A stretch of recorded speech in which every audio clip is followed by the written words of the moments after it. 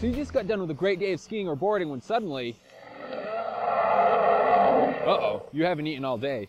Well, lucky for you, the Sitting Bull is right at the main base lodge. Come on, let's go see who's cooking. After entering, I was greeted by Rick Doyle, manager of the Sitting Bull. When they built the base lodge in 1969, I believe it was, uh, every ski area had a lounge. I started here in 1980, uh, and over the years we've had a series of uh, people that have been here for many years. On the wall over here behind us are uh, numerous pictures of uh, the Okemo family. The Sitting Bull staff encourages all guests to add their own photos to these wall montages.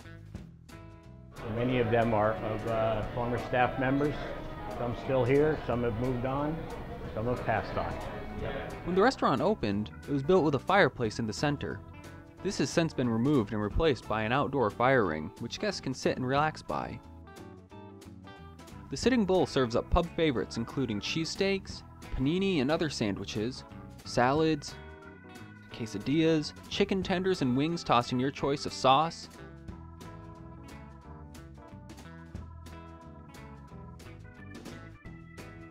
Oh, and did I mention nachos? We do a nachos grande that's out of this world that'll probably feed you for about three days. These nachos start with corn chips and are piled high with a bean and corn mix and cheese before being broiled to a golden brown. They're then topped with salsa, tomatoes and olives, jalapenos, and are finished with a scoop of sour cream and guacamole.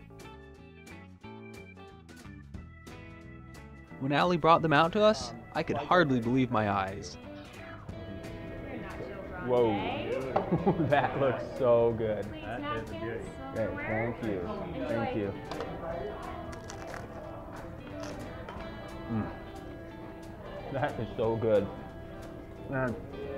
So hey, after a long day of skiing, got the munchies, come on in to the Sitting Bull, best nachos in town. Man. In Vermont. in the U.S. mm. In addition to food, the Sitting Bull offers a full bar and tap with some great local selections.